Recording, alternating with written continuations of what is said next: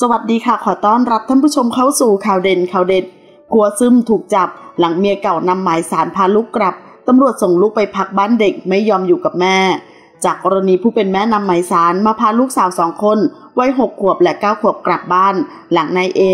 อายุ 39 ปี ผู้เป็นพ่อและสามีของหญิงคนดังกล่าวพากลับมาอยู่ด้วย ราะทนพฤติกรรมการเลี้ยงลูกของอดีตภรรยาไม่ไหว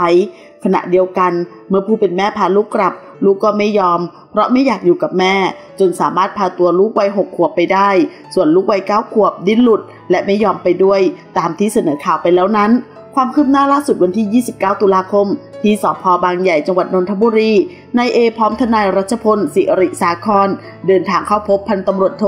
สมุทรเกตยารองผู้กำกับสอบสวนสพบางบัวทอง พื่อสอบปากคำในคดีดังกล่าว โดยในวันนี้เจ้าหน้าที่ตำรวจชุดสืบสวนได้แสดงหมายจับของศาลเยาวชนและครอบครัวกลางจังหวัดตราดที่2ทับ63 ลงวันที่ 21 ตุลาคม 63 เขาจับกลุ่มนายเอ ในข้อหาเรียกบุตรคืน ขอใช้อำนาจปกครองบุตร จำเลยละเลย และมีพฤติการหลบเลี่ยงที่จะไม่ปฏิบัติตามคำสั่งของศาล จึงให้ออกหมายจับจำเลยมา เพื่อไต่สวนและพิจารณาดำเนินการตามพรบศาลเยาวชนและครอบครัว พศ 2563 มาตรา 116 จากนั้นได้ทำการบันทึกจับกลุ่ม พร้อมควบคุมตัวก่อนนำส่งดำเนินคดีที่ศาลเยาวชนและครอบครัวจังหวัดตราดต่อไป ด้านพันตำรวจโทสมุทรเปิดเผยว่านายเอ